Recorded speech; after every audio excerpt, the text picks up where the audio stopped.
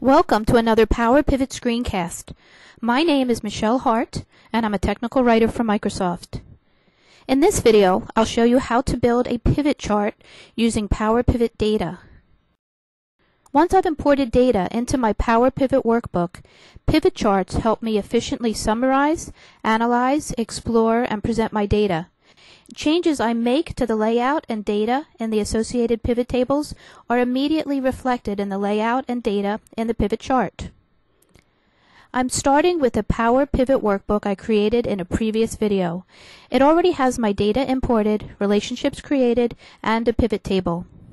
Now I'd like to add a pivot chart to support my previously created pivot table. In the Power Pivot Home ribbon, I click the Pivot Table button. Be sure to create the pivot chart from the Power Pivot ribbon.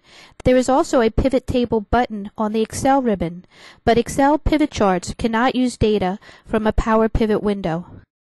Select Pivot Chart. Click Existing Worksheet. You can type a range in the field here, or simply click the cell and then OK. Excel adds an empty pivot chart to the location I specified and displays the Power Pivot task pane. The task pane contains two sections, a field list at the top for adding and removing fields, and a section at the bottom for rearranging and repositioning fields. Select the empty pivot chart. If you get an error message telling you the data list is no longer valid, right-click the chart and select Refresh Data. In the Fact Sales table, select the Total Profit field. In the Product Category table, select Product Category Name. The pivot chart shows a visual representation of Contoso profits by category. This is interesting, but I'd like to see this as a two-dimensional pie chart, so I select the Design tab in the Pivot Chart Tools group and click Change Chart Type. I apply the settings and then resize the pivot chart.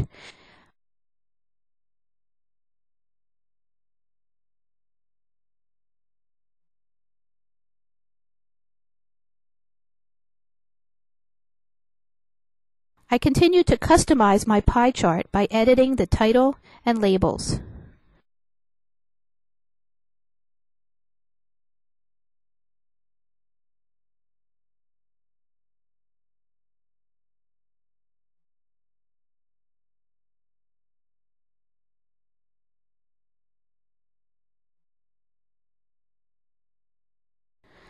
This is a simple analysis of my data. To dig deeper, I'll add measures, calculations, and slicers, all of which are covered in separate videos.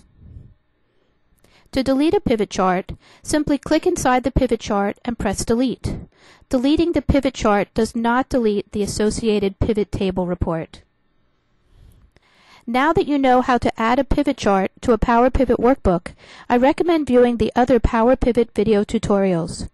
For more information on pivot charts and for help with other Power Pivot tasks, please visit us online and check back as we continually add new documentation and videos. Thank you for viewing this tutorial.